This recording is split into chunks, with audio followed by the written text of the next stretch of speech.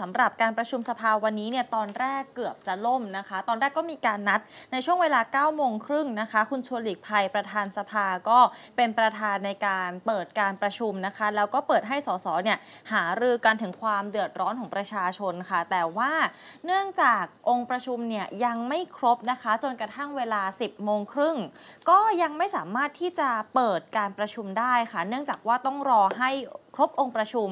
ที่จะต้องใช้ 244 คนก่อนนะคะ ก็เลยทำให้คุณชวนเนี่ยแจ้งว่าสสที่เข้าร่วมประชุมในกรรมธิการ ซึ่งในช่วงเช้าเนี่ยจะมี 12 คณะนะคะ ให้ร่วมกันลงชื่อเข้าร่วมในการประชุมสภาด้วย นายอัธกรสิริรัตยากรค่ะ สสบัญชีรายชื่อของพักพลังประชารัฐนะคะ ก็บอกว่าการเซ็นชื่อเข้าร่วมประชุมสภาก็คาดว่าสสพักร่วมฝ่ายค้าน จะลืมลงชื่อก็เลยทำให้องค์ประชุมเนี่ยไม่ครบ ส่วนส่วนสสของรัฐบาลส่วนใหญ่เป็นสสในพื้นที่ภาคใต้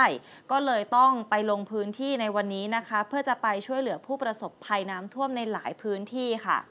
พอสอสอจากฝั่งรัฐบาลพูดแบบนี้เนี่ยนะคะ ก็เลยทำให้สอสอพักฝ่ายค้านค่ะลุกขึ้นมาตอบโต้นะคะ คนที่ลุกขึ้นมาก็คือคุณขจิตชัยนิคมค่ะสอสออุดรธานีพักเพื่อไทย บอกว่าตามระเบียบวาระเป็นร่างกฎหมายของรัฐบาล หากว่าฝ่ายรัฐบาลไม่สามารถหาสมาชิกเพื่อลงชื่อเป็นองค์ประชุมได้ไม่ต้องพิจารณา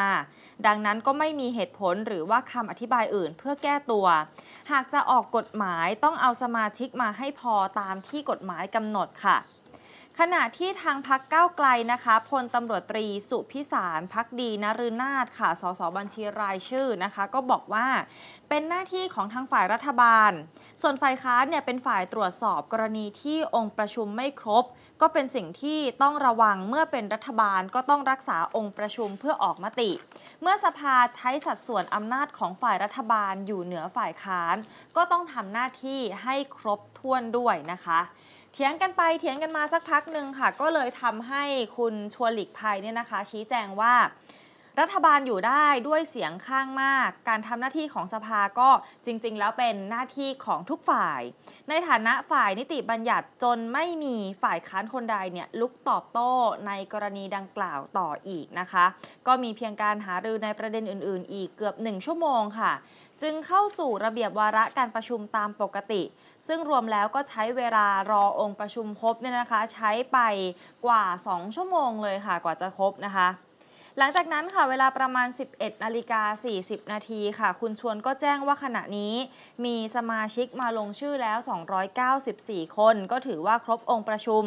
จึงเข้าสู่วาระการประชุมนะคะ แล้วก็แจ้งให้สมาชิกทราบว่า มีการงดการประชุมสภาในวันที่ 9 ถึง 10 ธันวาคมนี้ เพื่อให้สมาชิกเนี่ยไปลงพื้นที่พบปะประชาชน ในวันหยุดราชการต่อเนื่อง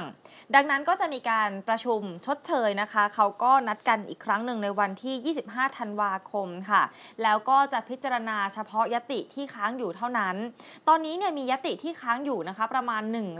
182 ยติค่ะ ก็แบ่งออกเป็น 22 กลุ่มนะคะ ทางด้านของนายวิรัตรัตนเศษค่ะ สสบัญชีรายชื่อของพรรคพลังประชารัฐในฐานะของประธานวิปรัฐบาลก็บอกว่า หลังจากนี้จะมีการงดประชุมสภาหลายวัน ก็อยากจะให้ประธานสภาทำหนังสือแจ้งอย่างเป็นทางการ เพราะว่าแต่ละส่วนก็มีการประชุมพัก มีประชุมวิปรวมทั้งอยากจะให้ประธานสภาเนี่ยนัดประชุมวิปสามหารือ เพื่อจะเลื่อนการพิจารณากฎหมายต่างๆ มาพิจารณาในวันที่ 9 ธันวาคม ส่วนเรื่องที่คณะกรรมาการพิจารณาเสร็จแล้วก็ให้นำมาพิจารณาในวันที่ 10 ธันวาคมแทน ซึ่งคุณชวนก็รับปากนะคะว่าจะนัดวิปแต่ละฝ่ายมาหารือกันอีกครั้งหนึ่งค่ะ คุณผู้ชมดูคลิปจบแล้ว อย่าลืมกด subscribe และกดกระดิ่งแจ้งเตือนด้วยนะคะ จะได้ไม่พลาดทุกข่าวสารและความรู้จากทีมข่าว Workpoint News และรายการ Workpoint Today ค่ะ